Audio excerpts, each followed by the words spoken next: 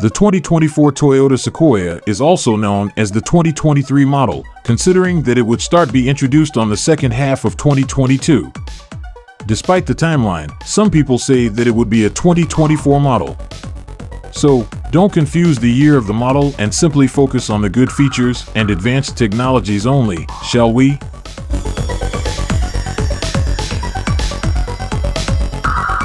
In terms of interior, the Sequoia would be quite similar to the Tundra. However, some of the plastic elements and trims would be decorated with glossy paint or faux wood panels to meet buyers' demands.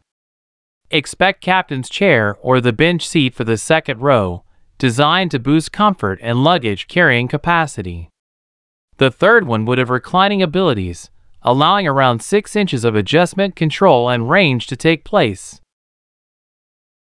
The upcoming Sequoia should be coming with V6 hybrid twin-turbo iForce max unit with 3.5-liter capacity, which can generate 437 horsepower and 583 newton meters of torque. This arrangement is also used by the Tundra. It is paired with auto 10-speed transmission, with the motor being placed inside the bell housing. The bell housing itself is set between the transmission and the engine. In Tundra, they are using the nickel metal 288V hydride battery. The information about Sequoia is actually very limited for now, so we should hear more about 2024 Toyota Sequoia once Toyota is ready to reveal more.